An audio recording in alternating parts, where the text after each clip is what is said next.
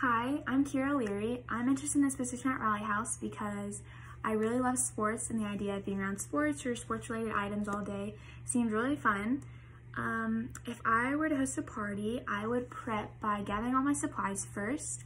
Then I would make a list for the things I need to do, and then I would make sure that I finish everything with lots of time to spare so that there's no last minute mistakes.